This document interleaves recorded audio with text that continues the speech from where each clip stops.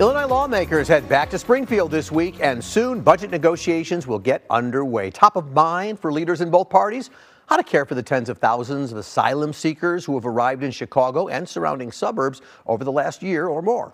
The state has committed nearly $640 million to the crisis so far. Well, I talked with state senator and GOP leader John Curran about that and what else to expect when lawmakers head back to Springfield this week. Senator, good to see you. Thank you. Oh, very nice to be with you. So you wrote uh, in the Tribune an op-ed this past week that some crises are unexpected, but then you called Governor Pritzker's migrant crisis an invited one. Now, Pritzker has called Illinois a welcoming state. Legally, the distinction really, I think, is about giving certain protections to undocumented immigrants. Is it your view that the governor extended an invitation to Texas? The governor has extended an invitation to the migrants, and this started six years ago when he first took office. If you go back to when uh, uh President Trump's first term, uh, Governor Pritzker decided he wanted to take on the Secretary of State at the time. This was the message he started pushing out, and he's been pushing it ever since. And he's been passing policies of this welcoming, uh, rolling out the welcome mat throughout his six years in office, and that you will. That's where we're at right now. So let me ask you this, Mr. Leader. To be fair, the thousands who make their way here are being sent by Governor Abbott of Texas. Uh, Pritzker has asked him to stop it. He doesn't seem to be responsive. Have you had any conversations, any counterparts in the world of Texas to try and address this?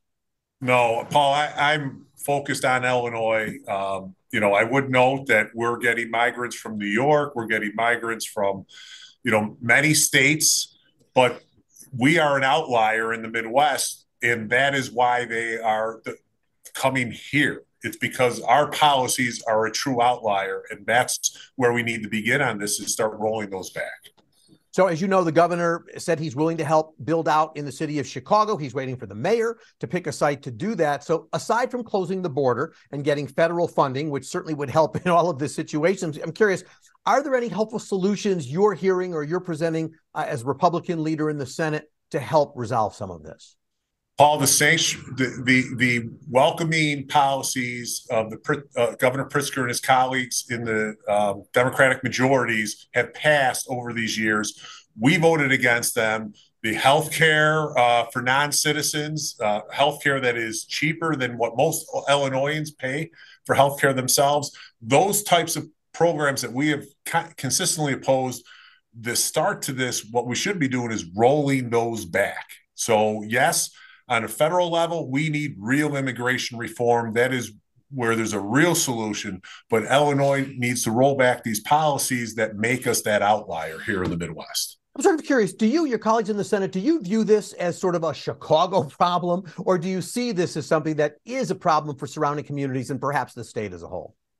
We see it as a, it, the state as a whole, Paul. This is costing us untold hundreds of millions of dollars. Actually, what we really need is a true accounting from Governor Pritzker on the money being spent. He is moving money around using his executive authority uh, orders uh, again, and that really is taking from other areas of the state and other programs. The, we have finite resources. We are crowding out other critical needs of citizens of Illinois to deal with this crisis so it really, we view it as a problem for the entire state, not just Chicago. So, as you know, the mayor has said other cities in Illinois need to step up. The governor's office has opened up some grant money for municipalities to do that. As an example, Oak Park, a western suburb, got $400,000 through that program. Curious whether you've heard from any town leaders in your district uh, about what they're thinking and what do you think? I have not heard from anyone looking to invite this in my district to their front door like Chicago has. Chicago and Illinois need to start rolling back those inviting programs that are asking people to come here. Um, that would be a great first step for the mayor of Chicago. You know, and to be clear, look, you make it very clear in your op ed that you believe in the value of immigration. You point to your own family's history uh, and immigration there. So uh, I get that. Um, when I talk to Democrats in the legislature about the possibility of supplemental funding, because you'd have to do that, much less the new budget, the answer seems to be well, the state has to deal with a lot of things. We're concerned about all Illinoisans, the homeless. And you point out in your op ed, and there's low income families that, that have to be assisted, people with uh, developmental disabilities, small businesses still struggling from the pandemic, veterans who need mental health services. I guess my question is do you see any short term supplemental assistance in this world? Or does it look like there's more on the plate that the, that the even if the budget, if the migrant issue weren't there, it's still too much? Paul, we're facing a deficit in the upcoming year, um, upcoming budget. And so right now, everything is being crowded out. When you insert this crisis into it, it is a, a strain and on all those sensitive areas you just mentioned in the state. So I, you know, we we have finite resources. We have to concentrate on what the state of Illinois is obligated to, to provide its citizens first and foremost we the governor is taking his eye off the ball here. It is part of his play to get on the national stage. We, he needs to focus on Illinois. Just to be clear, do, do you see supplemental funding or is this the next budget issue? Next budget issue. All right. Let's talk about some other things that you are dealing with because it's not the only yeah. thing on your plate. Invest in kids. Republicans pushed for an extension of that act in the fall. No vote was taken. Now scholarships are ending in the spring. In fact, a couple of Catholic schools have said they're going to need to close if they don't get uh, money. Uh, are there new discussions around the program happening as these budget negotiations are underway? Paul, there are, I've heard new discussions, new new ideas. Nothing that seems to have taken any traction yet. We are in full favor of empowering these families with, with, with a school choice, a school option that best suits their child. Um, we're hopeful that something's going to get some traction here. We have been consistent in our support of that program. What's your response to uh, opponents to the program who say, look, the problem is that the state needs to put its money into public schools because private institutions really aren't accountable to the public? Um, Republicans, of course, have advocated for more school choice, but is there a way to do both? There is a way to do both. And actually, the program we had in place was a it, was a very small amount uh, that that was would cost the state, and quite frankly, people could find different ways to get that write off, Paul. So it did. So I'm not sure it cost the state anything. We have been meeting our funding obligations with K through 12. We we have funded the um, you know the 350 million dollars additional each and every year uh, we've been meeting that metric. Uh, so we we had it. This was really killed based upon ideology.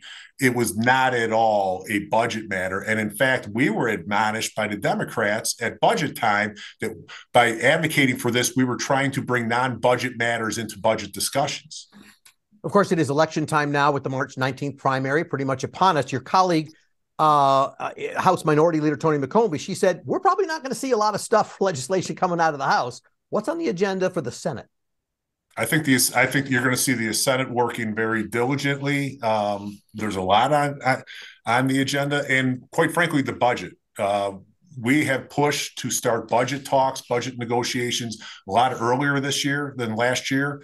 It was very rushed at the end last year. Um, so I'm, I'm very hopeful that we're going to work in a more diligent manner we are facing a deficit. It is imperative that we take a look at each and every part of the budget to find ways to save money so we're meeting the obligations of the res- uh, residents of Illinois.